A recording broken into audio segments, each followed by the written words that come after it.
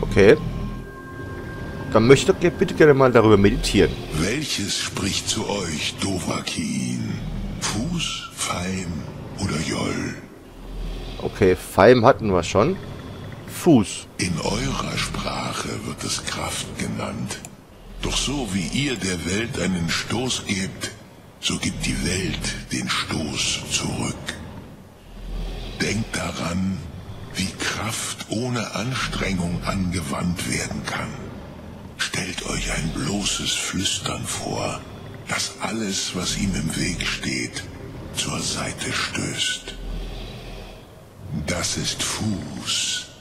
Lasst euch von seiner Bedeutung erfüllen. Zoom Arg Mora. Ihr werdet der Welt einen stärkeren Stoß geben, als sie zurückgibt. Aha. Bringt es hierher zurück. Nein. Doch ich glaube, dann, ihr werdet sie sehen. Wut Fadon, die erste. Sie Das möchte ich doch zu eigentlich gar nicht. Zeit. So. Das. Welches spricht zu euch, Dovahkin? Fuß, Feim oder Joll? Äh, jetzt im Moment gerade Joll. In eurer Sprache. Nein. Denkt daran, das ist Fuß. Lasst euch von sein. Welches spricht zu euch, Dovahkin? In eurer Sprache bedeutet das Wort einfach Feuer. Veränderung, der eine Form gegeben wurde. Macht in ihrer ursprünglichsten Gestalt. Das ist die wahre Bedeutung von Jol. Zoljek, Macht. Ihr habt sie, so wie alle doof. Aber die Macht ist untätig ohne Handlung und Wahl. Denkt darüber nach, während sich das Feuer in eurem Zoom, eurem Atem aufbaut. Zoom Ark Mora. Was werdet ihr verbrennen? Was verschonen? Okay, das war Marzipan. Drem Yolok. Seid gegrüßt. Ähm. Zurück. Das Sprecht bringt es hierher zurück. Zur Tid Achran. Dann Ja, ja, ist ja recht. Verschwindet. Nichts ist bei solchen Dingen. So. Kann ich denn jetzt eigentlich bei Magie... Ähm...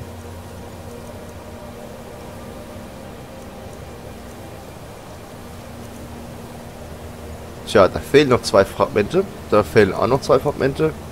Da fehlen auch noch zwei Fragmente. So.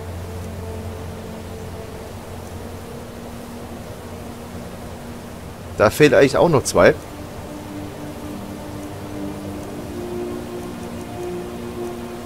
Ah, die haben... Okay, okay, okay. Die haben verschiedene... Die haben verschiedene Aufladezeiten. Hier oben gibt es jetzt sonst gerade nichts mehr. Soweit wie ich das sehen kann. Zumindest. Ich gehe mal noch ein bisschen weiter nach oben. Falls ich kann. Vielleicht hat es ganz oben ja auch noch irgendwas. Wobei ich da jetzt nicht so sonderlich überzeugt davon bin.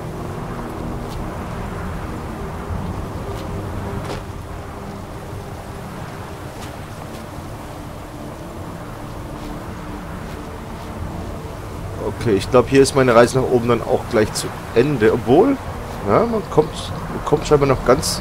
Na,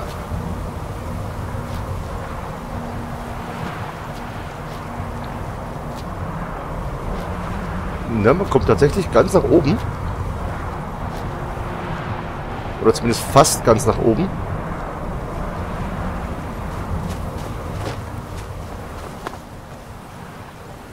Lydia bleibt natürlich unten. So, da habe ich jetzt mehrere Questmarker auf der Karte.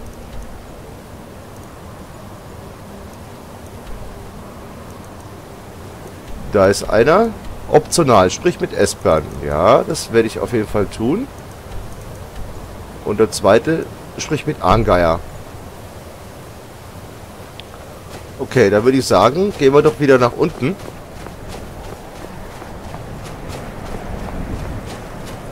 Der Nebel hat sich jetzt scheinbar standardmäßig verzogen. So wie es aussieht zumindest mal.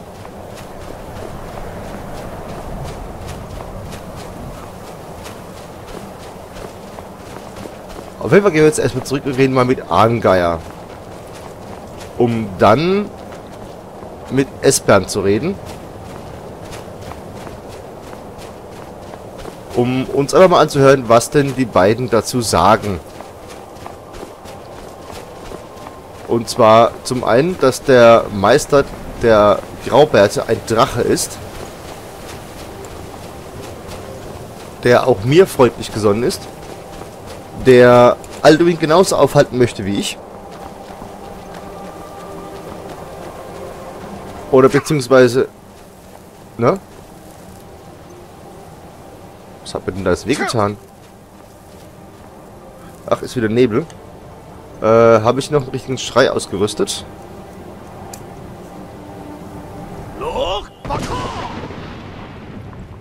So, jetzt wieder. Und da ging es lang. Es gibt also dann keine neuen Eisgeister.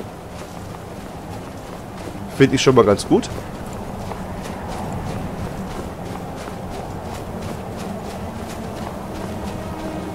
Und ich bin jetzt gerade überlegen, aber ich glaube, mit diesem Feueratem gegen die Drachen anzutreten, ist wahrscheinlich äh, relativ sinnvoll.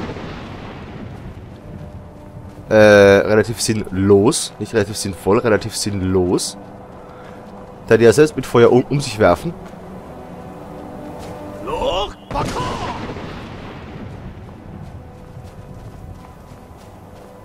Ähm, mit dem wolkenlosen Himmel dürfte sie wahrscheinlich auch nicht treffen können. Da vorne ist das ein neuer Eisgeist.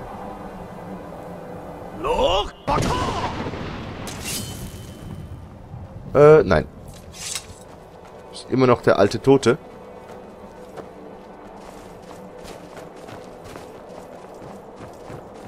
Hm, aber es gibt wohl scheinbar, zumindest, keinen anderen Weg, Alduin aufzuhalten, als diesen Drachenfallschrei zu lernen. Wozu ich ja dann eben diese äh, alte Schriftrolle brauche, die mich dann eventuell in der Zeit zu dem Punkt zurück teleportieren kann, in der dann eben Alduin na, vielleicht nicht besiegt, aber zumindest mal geschlagen wurde.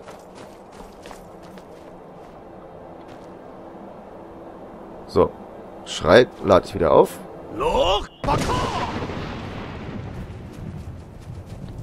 So, und da sind wir wieder zurück bei den Graubärten, die sich natürlich wieder nach drinnen verkrümelt haben. Ähm, wo es wahrscheinlich relativ warm sein dürfte.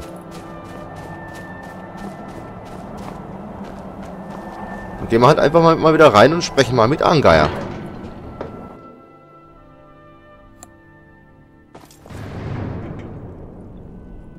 So, da sind wir drin. Arngeier, wo bist du? Wo bist du? Ah, du stehst da vorne. Ah, nee. Das ist wahrscheinlich der Weg zu Esbern, jawohl. Ähm... Was?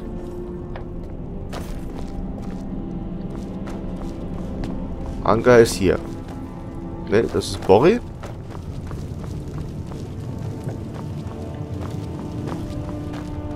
Äh, Anker.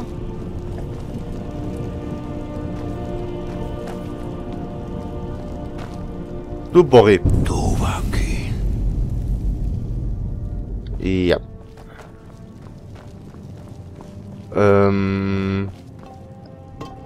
Hoppala. Entschuldigung. So, also hier ist Angeier auch nicht.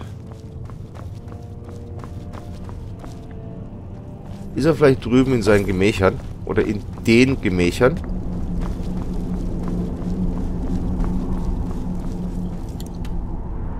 Und noch eine Karte.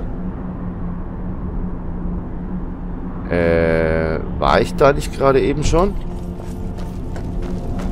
Also einmal hier hoch. Und dann da lang, ne? Ja. Da ist Borri. Aber wo ist Angeier? Ach, muss ich da zu Ihnen Innenhof?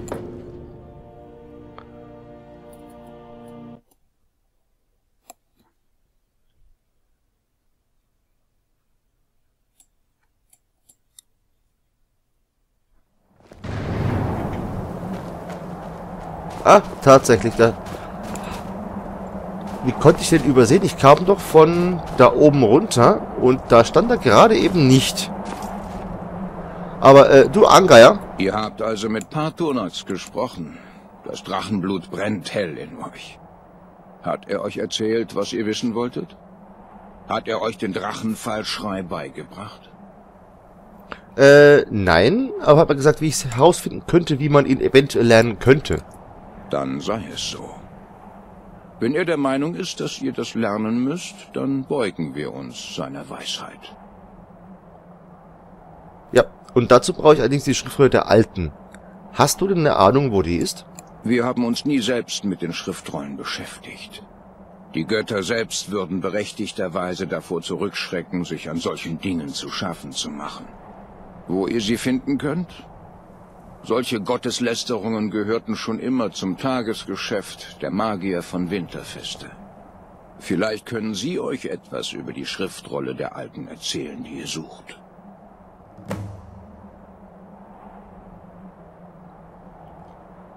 Okay, das habe ich gerade ja gerade eben schon mal gefragt. Solche Gotteslästerungen geht mit eurer Frage zur Akademie von Winterfeste. Vielleicht kann euch da geholfen werden. Okay, gut. Möge der Himmel euch leiten. Werde ich tun. Haben wir jetzt eigentlich dann noch Optionalsprich mit Espern. Oder Optionalsprich mit Angei. Okay.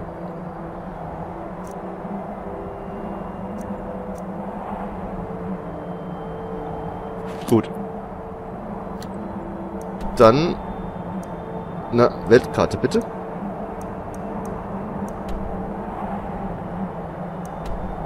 Ähm, ist sie denn? Tempel der Himmelszuflucht. Da möchte ich jetzt gerne erstmal hin. Um dort ein bisschen mit Espern zu plaudern.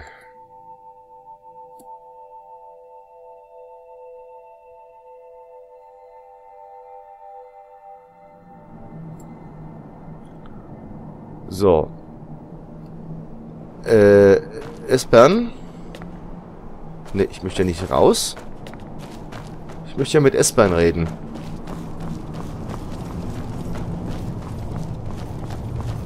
Bin mal gespannt, was der zu sagen hat.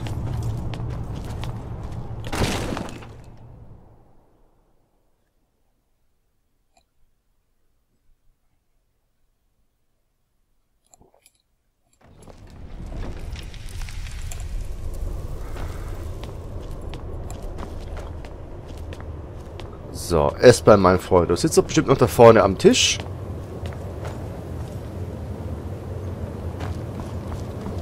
Nein, aber ihr habt euch hier heimlich gemacht, ne? Papierrolle. Es lag nämlich alles vorher noch nicht da. 20.000 Bücher.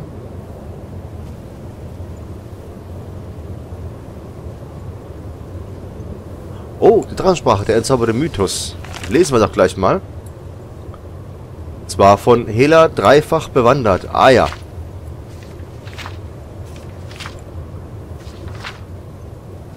Die Sprache der Drachen interessiert uns ja sehr.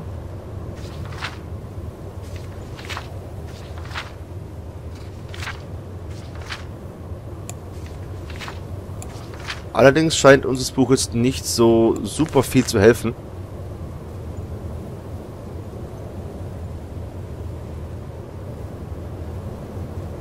Was ist das? Remanada? Hm? Kapitel 1, ach, ist wahrscheinlich, ach, äh, von Rehmann. Ja. Lesen wir uns nicht weiter durch, weil es scheint nicht allzu ergiebig zu sein. Haben wir dann einen Haufen Futter auf dem Tisch. Ja, das hat ja nicht lange gedauert, bis sie sich hier heimisch gemacht haben.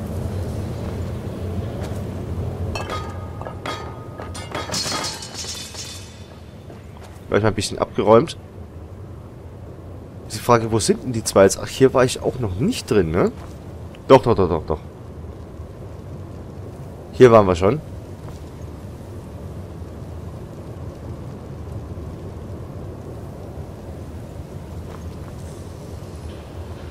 Schwerterklingen.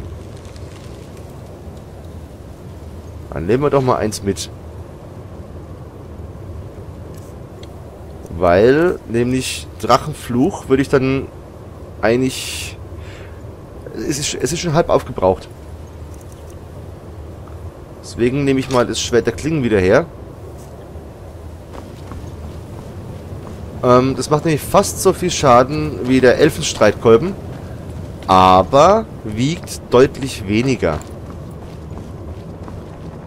So, hallo, ist hier keiner zu Hause? Hallo, Leute. Ich bin wieder da. Interessiert euch aber scheinbar überhaupt nicht.